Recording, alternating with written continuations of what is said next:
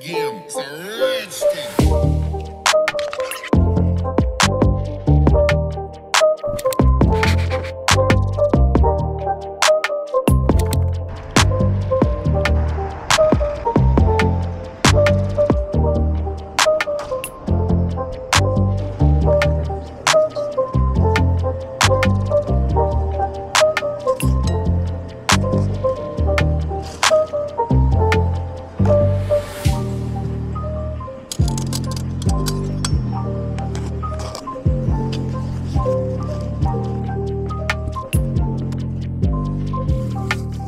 so I'm currently on a call right now with our product designer.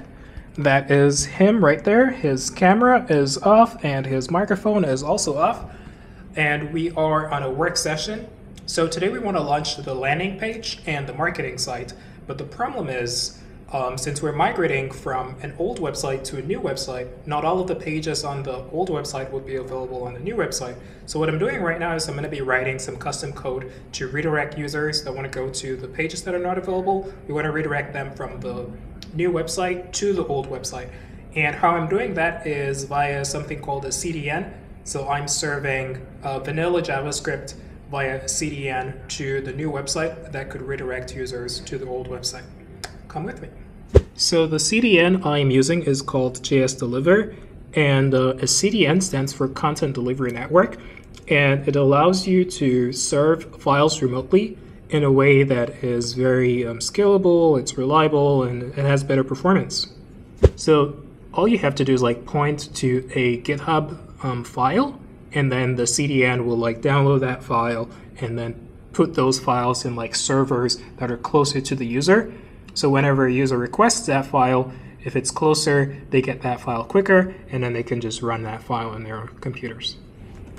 So I just generated some code from ChatGPT that extracts the URL parameters that I need to run the redirect operation. But the problem is this code is too long. I just found a way to make the code way shorter. Check this out.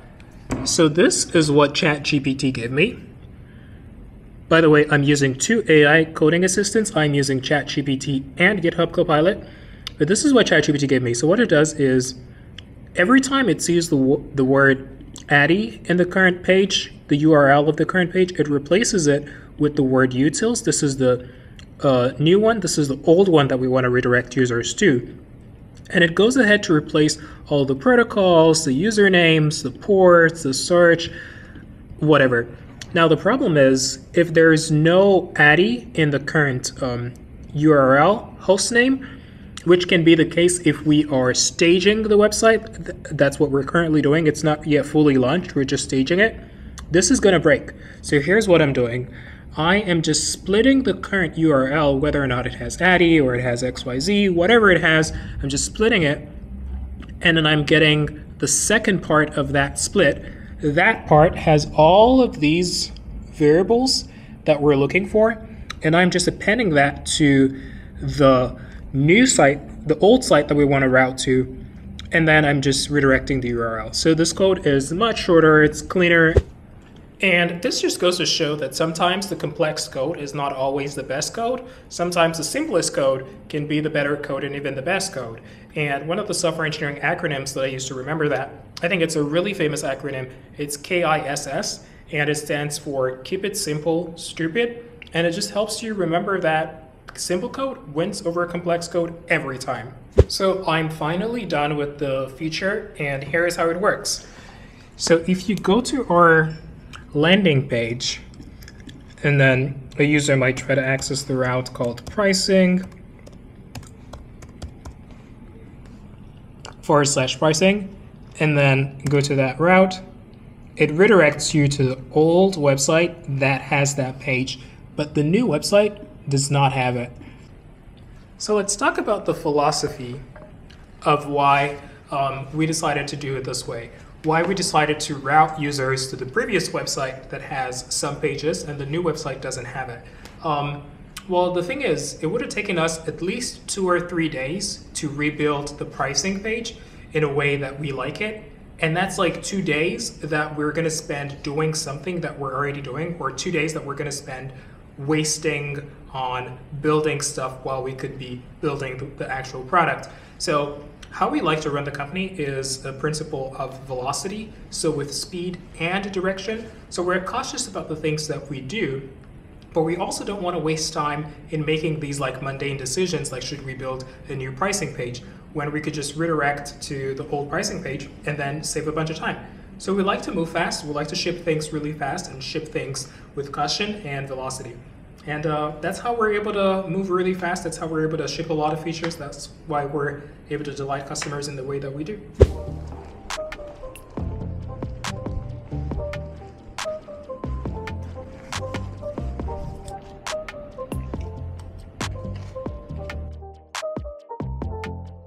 No. Did it work?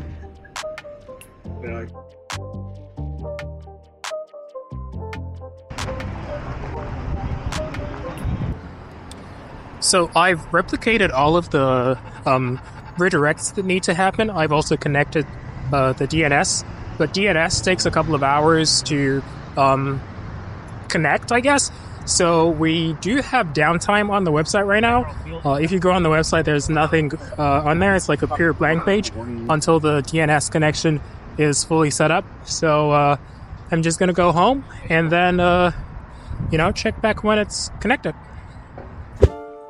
It's um 4:46 p.m. I'm home early. Uh, Eddie is not here. Let's see if there's a something to snack on. Oh, could probably make rice and something else, or maybe rice and eggs, or just plain eggs. That would be that would be interesting. Yeah, I think I'm gonna go with plain eggs. So, one of the great things about coming home early is that, well, first of all, I don't have to get food outside, but also, um, I still have a lot of time in the day to do some work, and it sort of feels like I'm getting two days worth of work done. Like, first half of the day feels like one day, and then I come home and I do like a whole day's worth of work at home.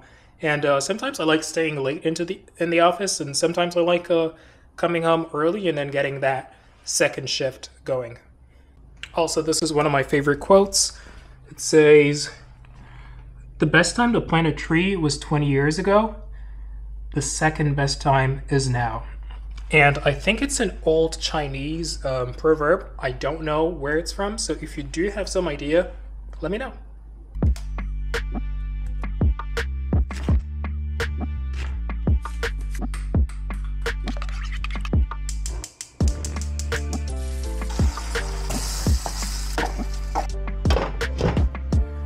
So while we're waiting for the eggs to finish cooking, uh, let me tell you something I absolutely love about this kitchen. So I like multitasking, so I like cooking and then I'll be on my phone, um, maybe watching YouTube videos or just like checking out my email. But catch this, this microwave, it sticks. So I could watch YouTube and do whatever I have to do. I can still open the microwave. And what I'm going to be doing now is I'm going to be catching up on the news from my boy Philip DeFranco. like but to let YouTube know the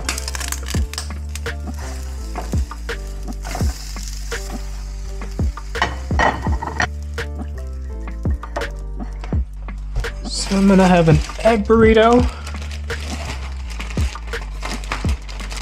I usually like two burritos. And a burrito is never complete without some good old mayo. I love mayo.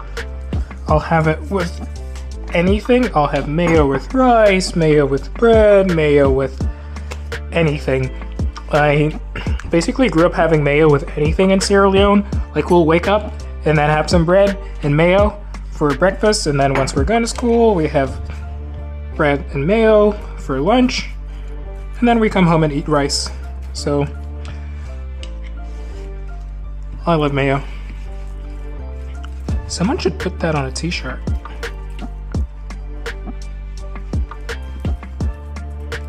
I recently learned how to fold burritos. And if there are any burrito experts in the comments, just rate my read my technique. So you do this, fold it up, and that, fold it up, and that. And that's a lunch slash dinner?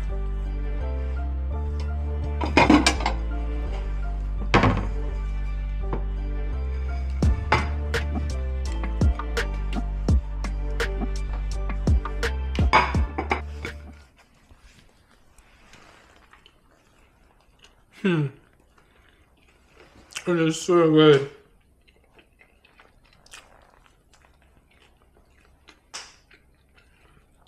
And the mayo, the mayo just makes it taste 10 times better. I was I was starving. I absolutely needed this.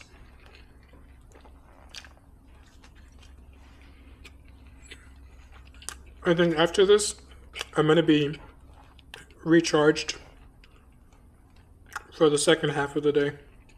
So it's been a couple of hours. The DNS should have propagated by now, and the website should be live. and I'm about to check it. But before I do, today I'm reminded once again why I started a company and why I'm doing this in the first place. Because the most amazing thing just happened. I received an email from GitHub literally two hours ago. And then the email said, Congratulations, you have been selected as a top 15 um, finalist for the GitHub 2024 Accelerator.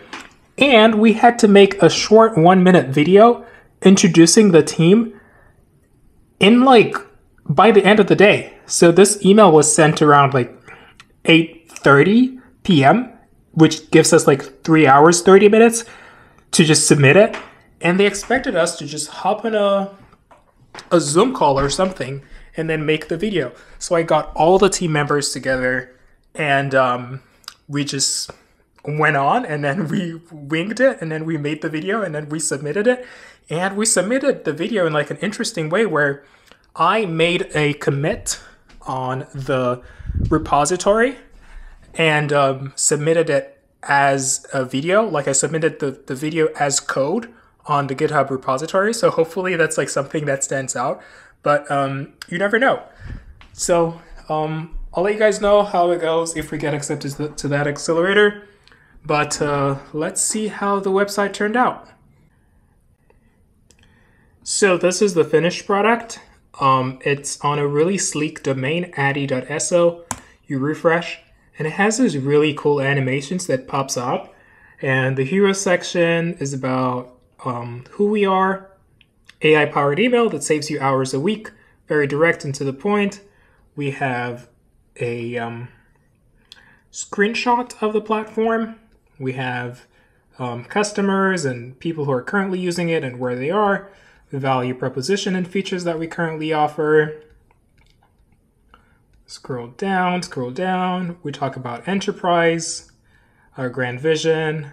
We talk about some of the features that we have, and we go in depth into a few features. And then we talk about reviews, we talk about current investors, and at the end, we have a place where people can sign up and request access for our early access. And then at the footer section, which I'm really proud of, we have other products that we offer like LangDrive, which we just submitted a GitHub Accelerator interview for. We have our Chrome extension, which goes to a Chrome extension page. Um, we have around 15 or 16,000 people currently using this Chrome extension. That's uh, really interesting. Um, we have a bunch of pages. So yeah, the website is live. It's you know it's kicking. Um, this has been something we've been working on for a while.